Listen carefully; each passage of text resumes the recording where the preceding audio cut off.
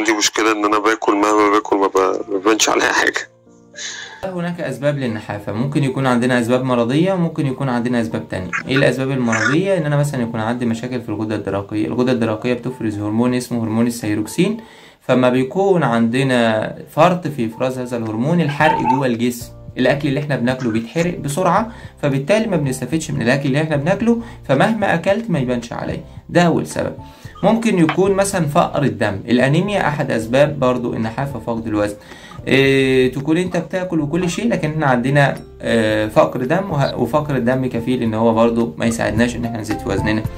مرض السكري لا قدر الله لو عندنا مرض السكري برضو ممكن يبقى سبب في فقدان الوزن. أمراض الكلى والجهاز البولي لو إحنا عندنا مشاكل في الجهاز البولي أو الكلى برضو ممكن تبقى سبب في ممكن بعض الأمراض المزمنة ممكن حساسية من الأطعمة معينة ممكن يكون مثلا مرض السرطان لا قدر الله الإيدز السل الضرن كل هذه أمراض مزمنة ممكن تبقى سبب في نحافه فقد الوزن أو ممكن تكون بعد عملية جراحية أو نقص فيتامينات ممكن تكون موجودة في الجسم ممكن تبقى سبب في النحافه وفقد الوزن. برضه يكون عندنا ديدان في الأمعاء الديدان في الأمعاء برضه ممكن تبقى سبب في النحافه وفقد الوزن.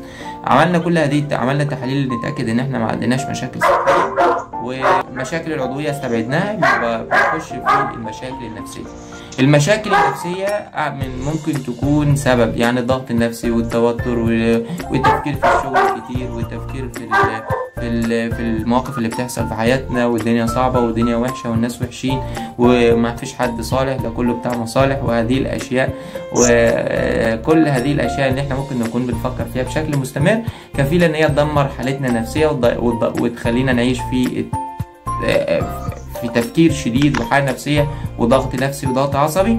فلو بندي نصيحة لشخص مريض نفسيا أو عنده مشاكل نفسية معينة أو عنده عصبية بنقول له ممنوع العصبية وبنديله بعض الفيتامينات اللي بتريح الأعصاب مع إن إحنا نمشي على نظام غذائي. إيه الفيتامينات؟ فيتامين د فيتامين ب 12 أملاح الكالسيوم والمغنيسيوم وبناخد بعض الفواتح الشهية آه، مثلا المشروبات اللي بتفتح الشهية زي مشروب البابونج واليانسون والحلبة والراويه نظام غذائي معد لينا لو إحنا ما عندناش أي مشاكل صحيه